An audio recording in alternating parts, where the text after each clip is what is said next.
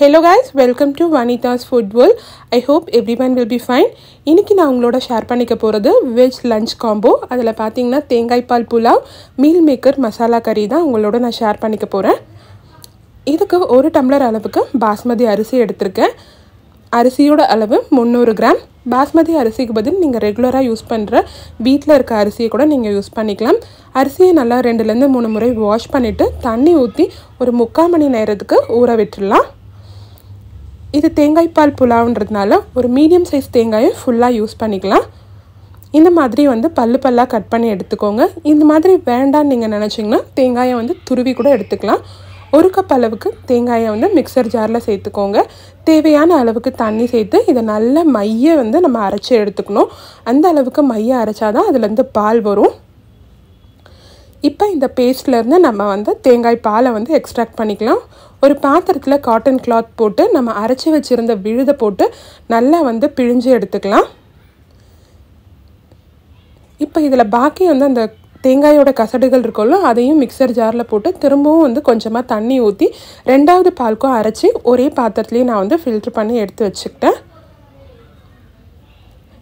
இந்த தேங்காய் பால் புலாவுக்கு நான் ரெண்டு வெங்காயம் மீடியம் சைஸ் எடுத்திருந்தேன். நல்லா வாஷ் பண்ணிவிட்டு நீல வாக்கில் வந்து கட் பண்ணி எடுத்துக்கலாம். ரெண்டு இன்ச் அளவுக்கு இஞ்சி தோல் சீவிட்டு கட் பண்ணிக்கோங்க. பத்து பல்லு பூண்டு இது ரெண்டுத்தையும் மிக்சர் ஜாரில் போட்டு இஞ்சி பூண்டு விழுத அரைச்சி எடுத்துக்கலாம். இதில் நான் கொஞ்சமாக தண்ணி ஊற்றி அரைச்சி எடுத்திருக்கேன். அஞ்சு பச்சை மிளகாய் எடுத்திருக்கேன். பச்சை மிளகாய் பார்த்திங்கன்னா நல்லா கரும் பச்சையாக இருக்குது இதுக்கு வந்து காரம் அதிகமாக இருக்கும். அதனால தான் நான் அஞ்சு எடுத்திருக்கேன். உங்ககிட்ட இருக்க பச்சை மிளகாயை பொறுத்து நீங்கள் வந்து அதை எடுத்து சேர்த்துக்கோங்க. இப்போ குக்கரில் ஒரு டேபிள் ஸ்பூன் நெய் சேர்த்துக்கோங்க. நெய் நல்லா உருகினதும் ஒரு டேபிள் ஸ்பூன் எண்ணெய் சேர்த்துக்கோங்க. மசாலா எல்லாத்தையும் சேர்த்துக்கலாம். ஒரு இன்ச் பட்டை மூணு கிராம்பு ரெண்டு மராட்டி மொக்கு ஒரு பிரியாணி இலை ஒரு அன்னாச்சி பூ மூணு ஏலக்காய் கொஞ்சமாக ஸ்டோன் ஃப்ளவர் கால் டீஸ்பூன் மிளகு சேர்த்துக்கோங்க. இது கூடவே நம்ம நீல வாக்கில் நறுக்கி வச்சுருந்த பச்சை மிளகாயும் சேர்த்துக்கோங்க. அஞ்சு முந்திரி பாதி பாதியாக உடச்சி சேர்த்துக்கோங்க. ஒரு கொத்து கருவேப்பிலை சேர்த்துக்கோங்க. இது எல்லாமே வந்து நெய்லியே நல்லா வந்து வதங்கி வரணும். இந்த அளவுக்கு நல்லா வதக்கிட்டு நம்ம நீல வாக்கில் நறுக்கி வச்சுருந்த வெங்காயத்தையும் இதோட சேர்த்துக்கோங்க. வெங்காயம் நல்லா வதங்கி வரணும். கண்ணாடி பதத்தை தாண்டி ஒரு ஸ்டேஜ் வரும்ல அந்த ஸ்டேஜ் வரைக்கும் நல்லா வதக்கிக்கோங்க. இப்போ இது கூட நம்ம அரைச்சி வச்சுருந்த இஞ்சி பூண்டு விழுதையும் சேர்த்துக்கோங்க. இஞ்சி பூண்டோடைய பச்சை வாசம் நல்லா போகிற வரைக்கும் நல்லா வதக்கிக்கோங்க. இப்போ நம்ம ஊற வச்சு வச்சுருந்த பாஸ்மதி அரிசியிலேருந்து தண்ணி எல்லாத்தையுமே ஃபுல்லாக ஃபில்ட்ரு பண்ணிவிட்டு அரிசி இதோடு சேர்த்துக்கோங்க. இந்த புலாவுக்கு தேவையான அளவு உப்பு சேர்த்துக்கோங்க. ஒரு டீஸ்பூன் போல் தனியாத்தூள் சேர்த்துக்கோங்க. ஒரு கைப்பிடி அளவுக்கு புதினா நல்லா வாஷ் பண்ணிவிட்டு சேர்த்துக்கோங்க.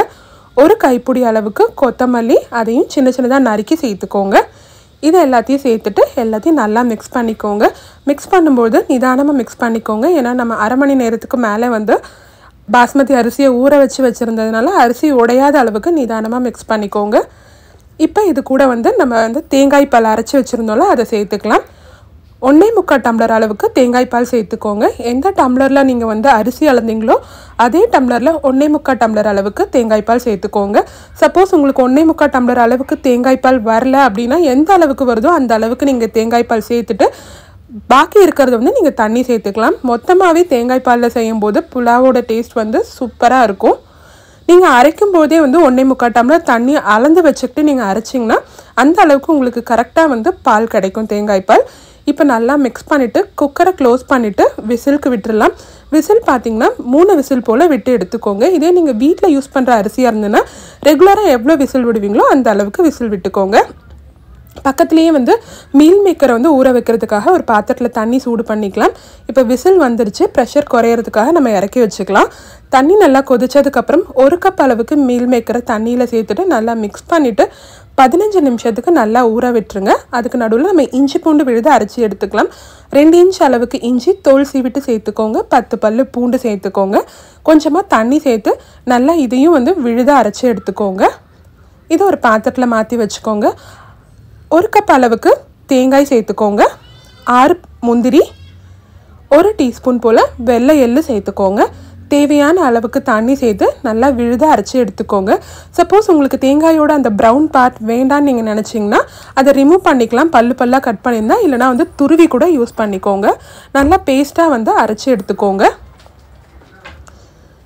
இப்போ வந்து மீல் மேக்கர் நல்லா ஊறிடுச்சு. அதுலேருந்து தண்ணி எல்லாத்தையுமே பிழிஞ்சு நம்ம எடுத்துக்கலாம். எல்லாத்தையும் பிழிஞ்சு பிளேட்டில் எடுத்து வச்சுக்கோங்க. இந்த மீல் மேக்கர் மசாலா கறிக்கு நான் மீடியம் சைஸில் ரெண்டு வெங்காயம் எடுத்திருக்கேன். மீடியம் சைஸில் ரெண்டு தக்காளி ரெண்டுத்தையுமே வந்து நல்லா வந்து பொடி பொடியாக நறுக்கி எடுத்துக்கலாம்.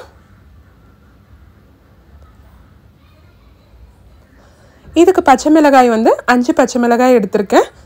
உங்கள் காரத்துக்கு தகுந்தாற் போல் பச்சை மிளகாய் எண்ணிக்கையை கூட்டி குறைச்சி சேர்த்துக்கோங்க. கடாயில் ஒரு டீஸ்பூன் எண்ணெய் சேர்த்துட்டு ஊற வச்சு வச்சுருந்த மீல் மேக்கரை இதில் சேர்த்துட்டு நல்லா வந்து ஃப்ரை பண்ணிக்கோங்க. இந்த மாதிரி மீல் மேக்கரை ஃப்ரை பண்ணி நம்ம கிரேவி செய்யும்போது டேஸ்ட் ரொம்ப நல்லாயிருக்கும் ஒரு முறை இந்த மாதிரி ட்ரை பண்ணி பாருங்கள் நல்லா கோல்டன் ப்ரௌன் ஆக ஸ்டார்ட் ஆகும்போது பிளேட்டில் மாற்றி வச்சுக்கோங்க. அதே கடாயில் மூணு டேபிள் ஸ்பூன் எண்ணெய் சேர்த்துக்கோங்க. இதுக்கு எண்ணெய் கொஞ்சம் கூடுதலாக தான் தேவைப்படும். எண்ணெய் சூடானதும் நம்ம நீல வாக்கில் நறுக்கி வச்சுருந்த பச்சை மிளகாய் ஒரு கொத்து கருவேப்பிலை சின்ன சின்னதாக நறுக்கி வச்சுருந்த வெங்காயம் சேர்த்து வெங்காயம் நல்லா வந்து கண்ணாடி பழத்துக்கு வர வரைக்கும் வதக்கிக்கோங்க. இந்த அளவுக்கு வந்ததும் நம்ம அரைச்சி வச்சுருந்த இஞ்சி பூண்டு விழுதையும் இதோடு சேர்த்து இஞ்சி பூண்டுடைய பச்சை வாசம் போகிற வரைக்கும் வதக்கிக்கோங்க. வீடியோவில் வந்து நறுக்கி வச்சுருந்த தக்காளி போடும்போது மிஸ் ஆகிடுச்சு நான் அதுக்கப்புறம் தான் இதை காமிச்சிருக்கேன். தக்காளியும் நல்லா வந்து குழஞ்சி வர அளவுக்கு வதக்கிக்கோங்க. இந்த அளவுக்கு தக்காளி நல்லா குழஞ்சி வதங்கி வந்ததும் அரைச்சி வச்சுருந்த தேங்காய் முந்திரி விழுதை இதோட சேர்த்துக்கோங்க. கூடவே கால் டீஸ்பூன் மஞ்சள் தூள் ஒரு டேபிள் ஸ்பூன் மிளகாய் தூள் ஒரு டேபிள் ஸ்பூன் தனியாத்தூள் அரை டீஸ்பூன் கரம் மசாலா சேர்த்துட்டு எல்லாத்தையும் நல்லா வந்து மிக்ஸ் பண்ணிக்கோங்க. இந்த அளவுக்கு ஒரு சேர நல்லா மிக்ஸ் பண்ணிவிட்டு ரெண்டு டேபிள் ஸ்பூன் அளவுக்கு புளிக்காத கெட்டி தயிர் சேர்த்துக்கோங்க. அதையும் சேர்த்து நல்லா ஒரு சேர மிக்ஸ் பண்ணிக்கிட்டு இந்த கிரேவிக்கு தேவையான அளவு உப்பு சேர்த்துக்கோங்க. அதையும் சேர்த்து நல்லா எல்லாத்தையும் ஒன்றா கிளறி விட்டுக்கோங்க. இப்போ நம்ம ஃப்ரை பண்ணி வச்சுருந்த மீல் மேக்கரையும் இதோட சேர்த்துக்கோங்க. சேர்த்துட்டு நல்லா மிக்ஸ் பண்ணிக்கோங்க. இந்த அளவுக்கு நல்லா மிக்ஸ் ஆகி வந்ததுக்கப்புறம் இது கூட நம்ம தண்ணி சேர்த்துக்கலாம். மிக்ஸி அரைச்சல அந்த தண்ணி எல்லாத்தையுமே வாஷ் பண்ணி ஒரு டம்ளர் அளவுக்கு தண்ணி சேர்த்துக்கலாம். சேர்த்துட்டு எல்லாத்தையும் நல்லா வந்து மிக்ஸ் பண்ணி விட்டுருங்க. இப்போ இது பார்த்திங்கன்னா ஒரு பத்துலேருந்து பதினஞ்சு நிமிஷத்துக்கு நல்லா குக் ஆகி வரணும்.